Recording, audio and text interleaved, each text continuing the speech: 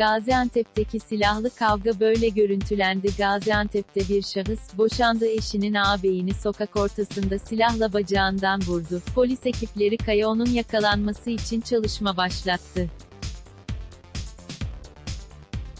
Gaziantep'in Şahinbey ilçesinde bir kişi, eski eşinin ağabeyini silahla bacağından vurarak yaraladı. İddiaya göre, Kayao, Efenek mahallesindeki bir iş yerinin önünde karşılaştığı eski eşi Sema Ön'ün ağabeyi Bülent Ö'ye tabancayla ateş ederek kaçtı. Bacağından yaralanan Bülent Ö, 112 acil servis ekiplerince özel bir hastaneye kaldırıldı.